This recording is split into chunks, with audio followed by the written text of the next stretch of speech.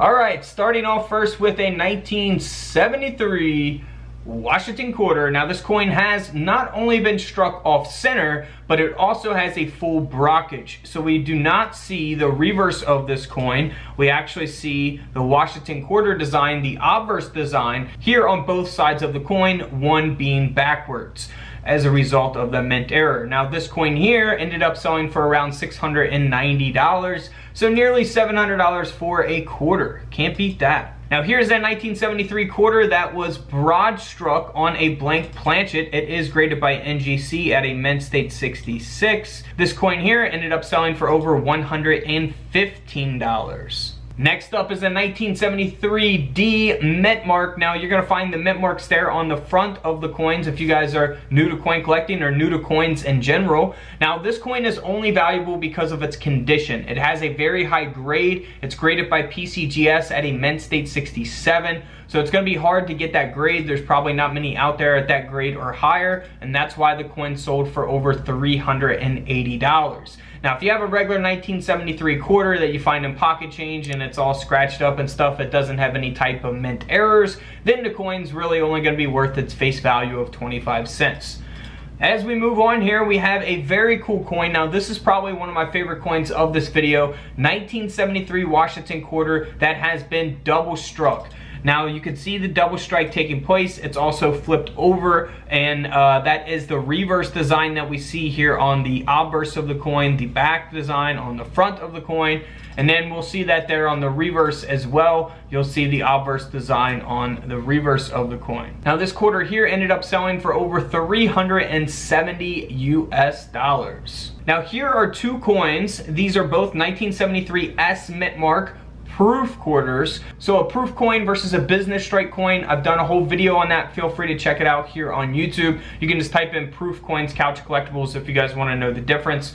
Now this coin here on the left has a clashed die on the obverse and reverse, and then the quarter here on the right was struck on a 10 cent planchet. Both of these quarters sold together. Now if we look here at the first one, this is where the clashed die is. So you'll see the reverse design coming through here on the obverse. We'll see that by Washington's neck as well as by the back of Washington's head and his hair. And then here for this other quarter that was struck on a Roosevelt dime planchet, it's a pretty noticeable type of mint error. The whole quarter design does not fit on this planchet, of course. And these two coins sold together for over $1,700. Next up is the same thing as the other high graded coin. However, this is the no mint mark. The other coin was the D mint mark. And it's graded at a mint state 67 by PCGS. This quarter here sold for over $1,100. Now, of course, when you sell the coin, it all depends on, you know, the market and the time in which you sell the coin, uh, you know, how many of these coins exist at this grade or higher. So the grade population is extremely important as well. As the years go on, there might be quarters that come in at this grade and the values can go down a little bit. So keep that in mind as well.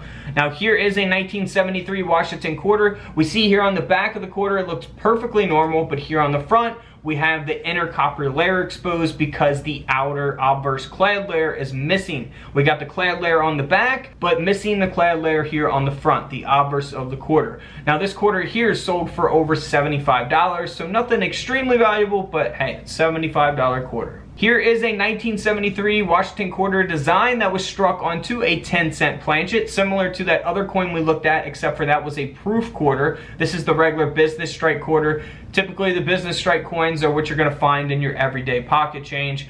This quarter only weighs 2.2 grams as a result of the mint error, and this coin sold for over $1,900. Can't beat that. Now here's a 1973 S mint mark. Again, this is the proof quarter that was struck on a Nepal one piece planchet. So it only weighs 0.7 grams as a result of that. And this coin here sold for over $4,800. That's right, nearly a $5,000 coin. Here's a 1973 D Mint mark that was struck onto a 5 cent planchet. So we looked at a quarter that was struck on a Roosevelt dime planchet. This coin here, or coin design, was struck onto a 5 cent uh, Jefferson nickel planchet.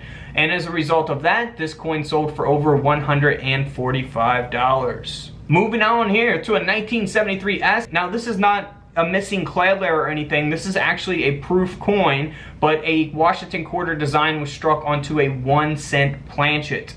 So a penny planchet here, this coin here sold for over $3,100. Now here is another example of a 1973 Washington quarter design being struck on a one cent planchet. However, this coin was also double struck as well. So we got a couple things going on for this quarter and that's why this coin sold for over $4,600. $4,600. Next up is a 1973S proof quarter. This is just the regular proof quarter that you find in proof sets and things of that nature. However, it's got a perfect grade. The coin grading scale only goes up to 70, 70 being the perfect grade. It's graded by PCGS at a proof 70 deep cameo, and that's why the coin sold for over $5,800. Next up is a really cool coin that has been triple struck and those strikes being off center. This quarter is the 1973 no mint mark. And we'll see that. It's a very obvious type of mint error. Of course, we're not finding stuff like this in coin rolls, but since it's a 1973, I gotta throw it in the video. This quarter here sold for over $900. Can't beat that.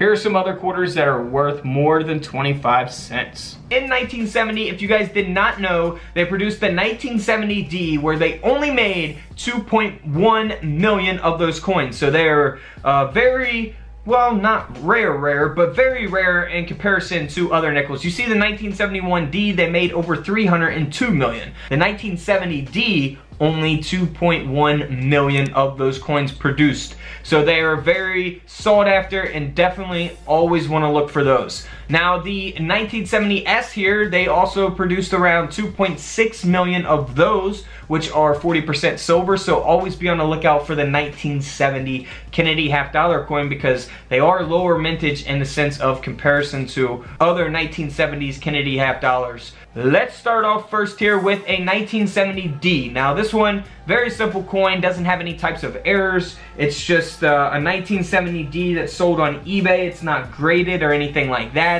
Looks like it's in pretty decent condition. However, it only sold for around $12. But still, if you find 50 cents and you sell it for 12 bucks, not too bad. Not too bad of a profit, you know, 50 cents, 12 bucks, I'll take it. But if we look at more expensive coins, here is a 1970 Denver minted Kennedy half dollar coin that was struck 5% off center. So we can see that off center taking place on the coin. So you can always look for that on really any type of coinage. Off center errors, they're very noticeable when you're searching through pocket change or coin collections or whatever. However you get your coins, searching through uh, coin rolls from the bank, very noticeable errors to look for. Now this half dollar coin sold for over $900.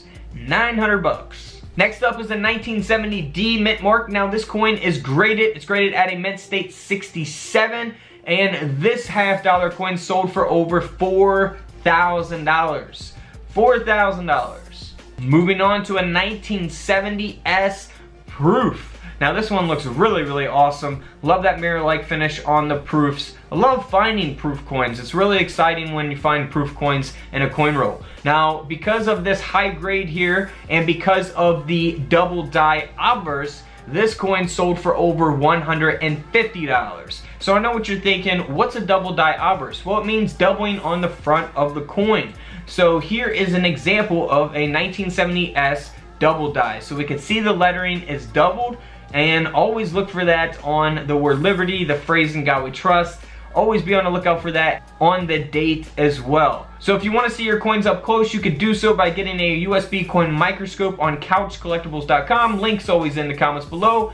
Now, here is another 1970S double die obverse. It's graded at a proof 68, and this coin sold for over $900. So it's got that high grade, which the coin grading scale only goes up to 70. This is at a 68, so that means it's in very, very good condition, and it's got that double die, 900 bucks. Now here is a 1970S with the grade of a proof 69. So almost a perfect grade for this half dollar coin here. And because of that high grade, this coin sold for over $800. It doesn't have any types of errors on the coin or anything like that. but it still sold for $800 because of that high grade. All right, guys, don't forget to subscribe in the middle. Check out the videos to the left of me. And until tomorrow, I'll see you all in the comment section below. This is Couch Collectibles, and this is where I disappear.